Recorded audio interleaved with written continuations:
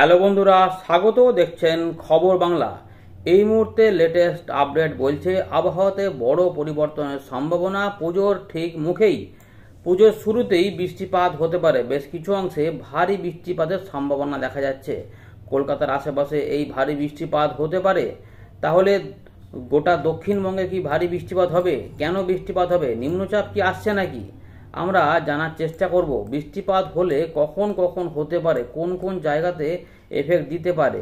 তো দেখব এই ভিডিওতেই, তাই ভিডিওটিকে সম্পূর্ণ দেখুন। এছাড়া আজ এবং আগামী কাল বা পরশু কেমন আবহাওয়াটা থাকতে পারে বৃষ্টিপাত হবে না শুকনো শুকনো থাকবে এই ব্যাপারগুলি বলব। এখন এই ভারী বৃষ্টিপাত হলে কিছু মানুষের হয়তো ভালো হবে, আবার কিছু মানুষ চাইবেন যে এই ভারী বৃষ্টিপাত নাই হোক। তো দুরকম ব্যাপার, চাষিদের ক্ষেত্রে বৃষ্টিপাতের দরকার হয়ে পড়েছে কারণ অনেকের ধান চাষ তার জন্য হয়তো পাম্প দিয়ে জল শেষ করে হয়তো চাষ হচ্ছে, কিন্তু বৃষ্টিপাত হলে সুবিধা হয়। তো সেদিক দিয়ে এটা একটু ভালো। আবার যারা পুজো দেখতে যাবেন, তাদের জন্য আবার এটা একটু ভালো খবর নয়। পুজোতে বৃষ্টিপাত হলে কাদা প্যাচ প্যাচ করবে প্যান্ডেলে। তো চান্স কি রয়েছে আমরা এটাতে জানার চেষ্টা করব। যদিও আমাদের এখানে বলে রাখব যে কিছু ভালো খবর আছে যে, সব সময় বৃষ্টিপাত হবে না, বিক্ষিপ্ত বৃষ্টিপাত থাকবে। তবে এইটা নতুন করে উঠে এসেছে তিরিশ এক এবং এক তারিখের দিকে বা দু তারিখের দিকে কিন্তু এই বৃষ্টিপাতের সম্ভাবনা থাকছে। হতে পারে এইটা যদি সরে যায়, দেখুন ঘূর্ণাবর্ত আমরা দেখতে পাচ্ছি, ফলে সম্ভবত একটা ছোটোখাটো নিম্নচাপও হতে পারে বা হয়তো সুস্পষ্ট নিম্নচাপ হতে পারে, যার জন্যই আমরা এরকম একটা চিত্র পাচ্ছি।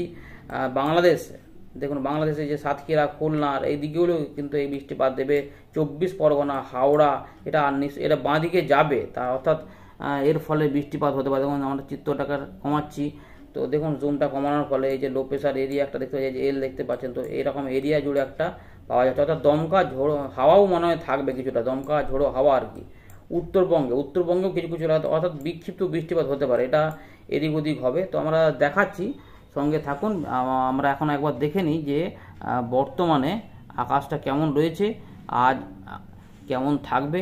আমরা চলে এলাম এখানে স্যাটেলাইট ইমেজে আমরা এখানে দেখতে পাচ্ছি বঙ্গোপসাগর পুরোপুরি ফাঁকাই রয়েছে। কিছুটা হয়তো এই নিচের দিকে দমকা হাওয়া থাকছে, তার জন্য মেঘের আন্দামানের কাছাকাছি জায়গাগুলোতে। এখানে একটু বৃষ্টিপাত থাকবে, এরকম থাকবে আর কি। কিন্তু বাকি অংশে মোটামুটি রোদ, ঝলমল, আকাশই থাকছে উত্তরবঙ্গে। উত্তরবঙ্গে যে বৃষ্টিপাতের সম্ভাবনা বলেছিলাম রাত থেকে সকালের দিকে, তো দেখুন এগুলো কিন্তু মেঘলা মেঘলা হয়ে আছে। অর্থাৎ এখানে বৃষ্টিপাত নিশ্চয়ই হয়েছে। যারা ইতিমধ্যে বৃষ্টিপাত পেয়েছেন উত্তরবঙ্গের জেলাগুলি থেকে যারা দেখছেন, সেটা পশ্চিমবঙ্গ হোক, দক্ষিণবঙ্গ, এই বাংলাদেশের হোক মানে রংপুর বা সিলেট, ময়মনসিং, এছাড়া আসামের উত্তর পশ্চিম ভাগে বা মেঘালয়ের উত্তর পশ্চিম দিকে যারা রয়েছেন, অবশ্যই জানাবেন। আলিপুরদুয়ার, কোচবিহার, জলপাইগুড়ি থেকে যারা দেখছেন বা উত্তর দিনাজপুর, এখানে বৃষ্টিপাতের সম্ভাবনা ছিল। তো বৃষ্টিপাত রাত থেকে সকালের মধ্যে পেয়েছেন কি না অবশ্যই জানাবেন। আকাশ এখন কেমন রয়েছে এছাড়া দক্ষিণবঙ্গ থেকে যারা দেখছেন তারা আকাশ কেমন পাচ্ছেন? মোটামুটি পরিষ্কার পাওয়ারই কথা, রোদটা কড়াই থাকবে এবং এরই মধ্যে যেটা হবে আর কি এখানে কিন্তু বিক্ষিপ্ত বৃষ্টিপাতের সম্ভাবনা থাকবে, বজ্র বিদ্যুতের সতর্কতা থাকছে।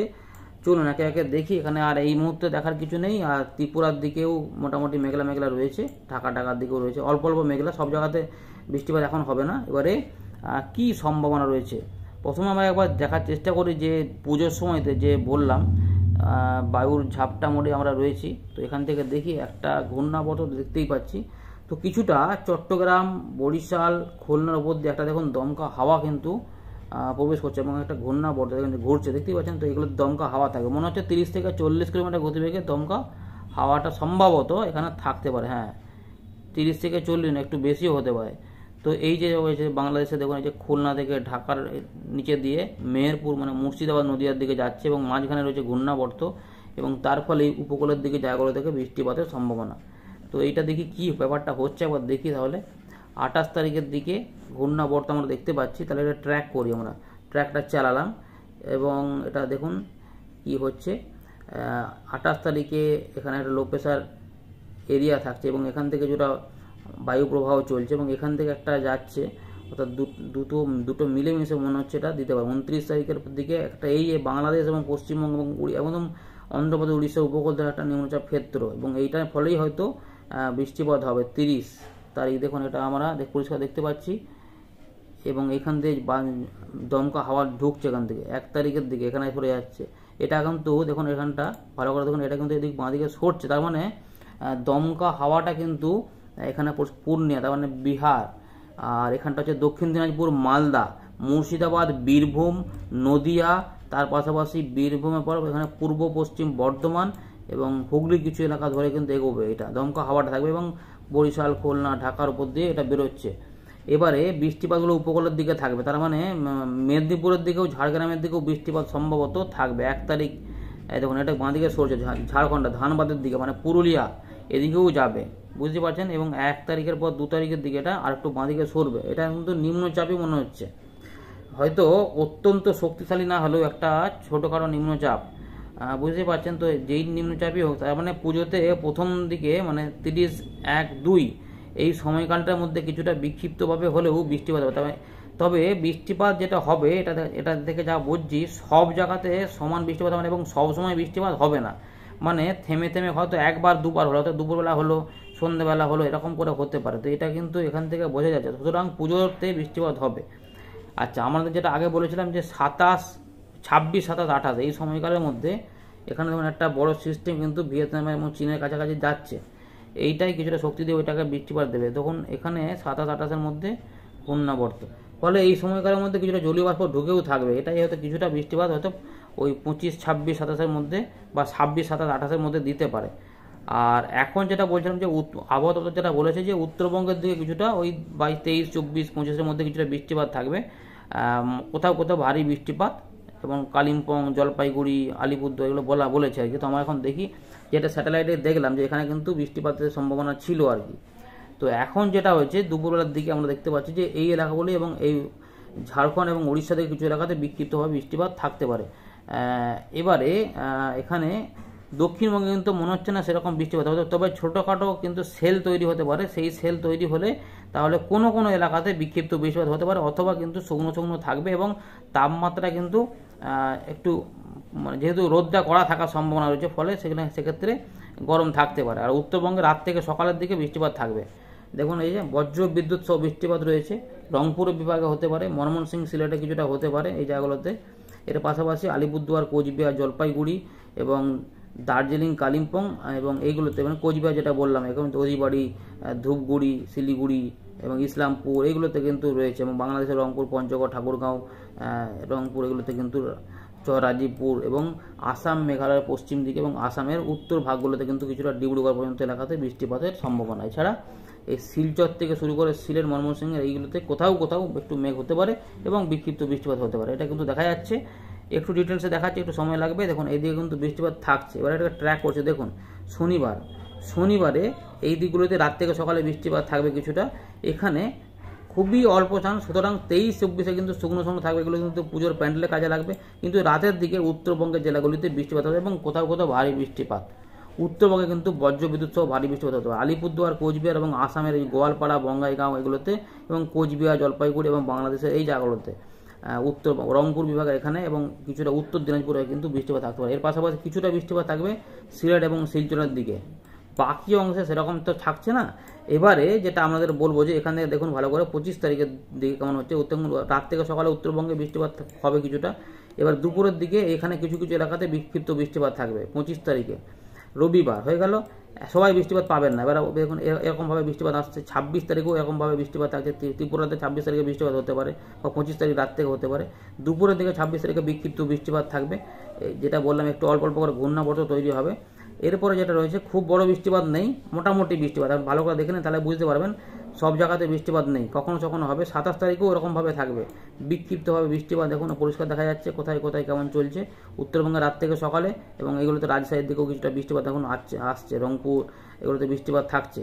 আর আঠাশ তারিখ থেকে দক্ষিণবঙ্গে আস্তে আস্তে পরিবর্তন। কারণ এই যে ঘূর্ণাবর্ত রয়েছে কলকাতা, হাওড়া, হুগলি, দুই চব্বিশ পরগনা, এগুলোতে কিন্তু দেখুন বৃষ্টিপাত ঢুকছে।